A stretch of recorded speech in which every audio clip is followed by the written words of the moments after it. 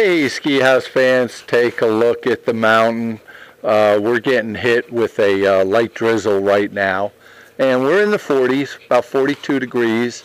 And uh, we've, we're just having the fog lift so you can see the mountain now. And uh, it's, it's not looking good today. The mountain is closed down. But this afternoon we're hoping and this evening that the cold weather is going to come in and uh, it's going to give Stratton a chance to roar because as you take a look on the side of the Gandhi there, there's all those white guns. Uh, we've got an extra 300 guns on the mountain, snow guns that are just going to make this mountain roar like a lion and uh, come back to life.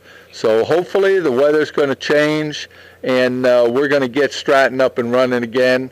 And so do me a favor, stop by Ski Haus get tuned, get fitted, and then make a beeline to Stratton.